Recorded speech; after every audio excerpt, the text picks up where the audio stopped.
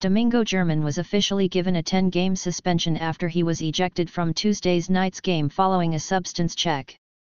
He will not appeal. The New York Yankees right-hander was perfect through three innings, but as he was heading back out to the mound for the bottom of the fourth inning, all four umpires stopped him to check his hands and glove for a sticky substance.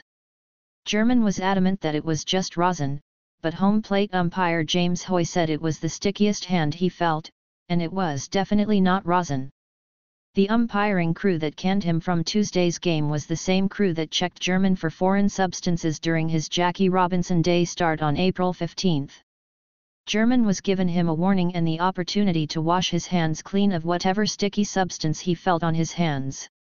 It caused an uproar with Minnesota Twins manager Rocco Baldelli because warnings are not supposed to be issued.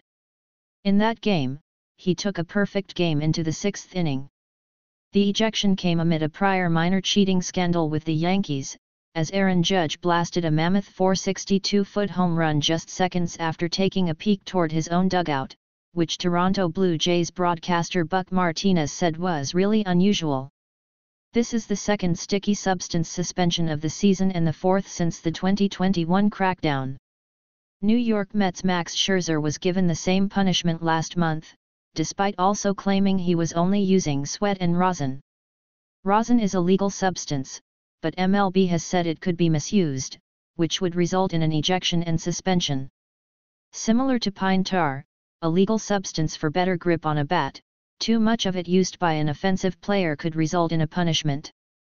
The Yankees bullpen picked up German en route to a 6-3 victory over Toronto. It was the Yanks' seventh win in their last nine games.